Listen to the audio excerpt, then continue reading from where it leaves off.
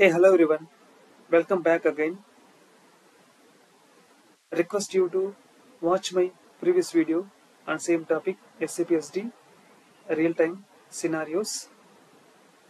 I will try to provide the link in description. Please go through that. And if you want me to discuss about any other topic, any other issues, please do let me know in comment section and if I want to improve anything please do let me know. I will try to improve myself and try to give my best. Okay now let's get started.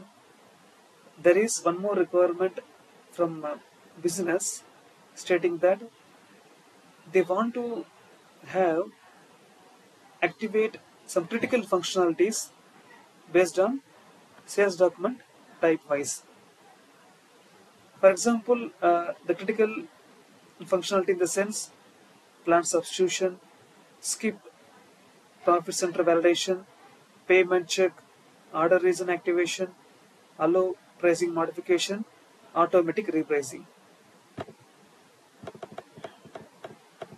For example, so if uh, if you see this uh, table for cash sales, CS sales document type, we have enabled payment check that means when we try to create a sales order, the payment check should be validated only for CS and same thing with RE. So whenever X is maintained, then the validation should happen on the payment check.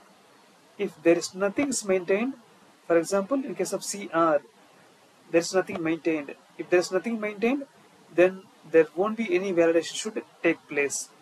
Similar way, auto repricing has been validation enabled for only CR sales document type. For other sales document types, it has been uh, disabled. That means auto repricing is not allowed in case of other sales document type apart from this CR sales document type. So these are the requirement as part of my project. In your project, different clients have different requirements. Accordingly, we should develop this custom table. I have named the custom table as ZDOC underscore type. It might also differs. And we should add that relevant fields, whatever we need here. After developing this custom table, we should write relevant code changes in the relevant user exits.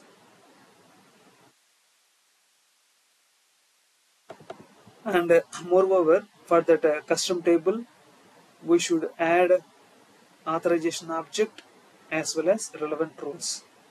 The roles will be provided by business or client to us. Once we receive roles from them we should share it with our security team. Security team will assign that roles to this table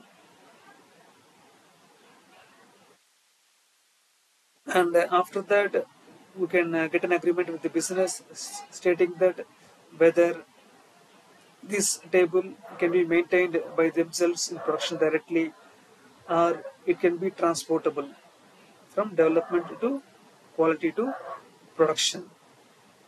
If it is transportable then we can directly do that by ourselves without adding any roles because in production most of the custom tables is SM30 SE16 and most of the uh, regular T codes will be restricted to business users right? So we can directly transport it without adding object authorization object and relevant roles. It is required whenever the table should be maintained by business directly in production if we don't maintain this object and uh, roles and uh, move changes to production means then there might be a chance that you, uh, the unwanted user can access this table and uh, maintain some illogical entries which may lead to some problem.